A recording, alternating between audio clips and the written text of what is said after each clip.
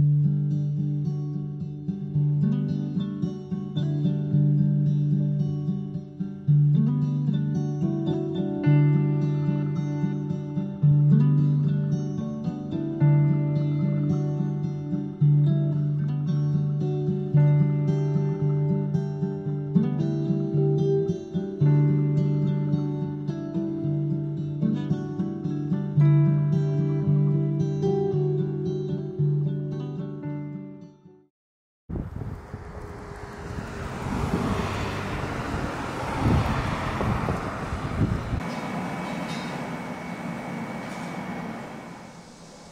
当社は1905年に東京都の文京区で創業した手作りのガラス工場です。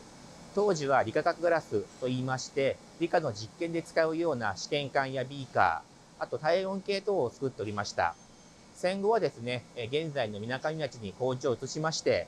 工芸ガラスですとか照明ガラス、食器等のですね、手作りのガラスを製造しております。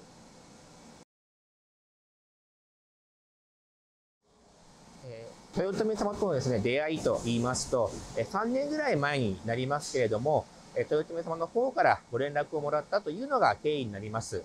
10年以上前からですね、当社の方は工場としていろいろなものづくりを受けておりましたので、そういった活動のことをですね、まあ、調べた豊臣様の方からご連絡をもらったというのが経緯になります。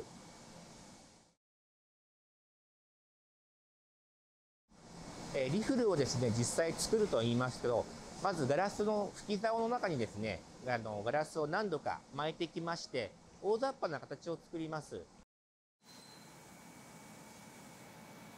その後、金型の中に吹き込みまして、この金型で吹き込んだガラスをですね、改めてチューブという技法で広げたり曲げたりしながら作っていくのが主な製造工程になります。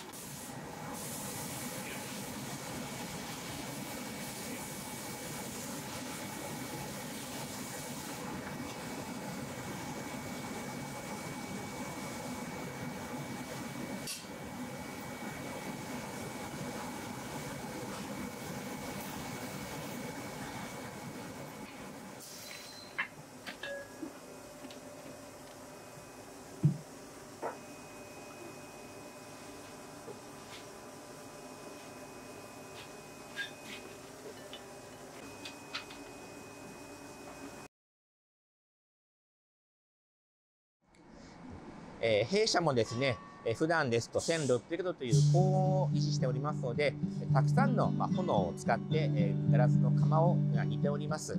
まあ、豊臣様もですね、同じストーブメーカーとしまして、炎を扱っていればメーカー同士ですね、え我々もものづくりの一環としてやっておりますので、えぜひね、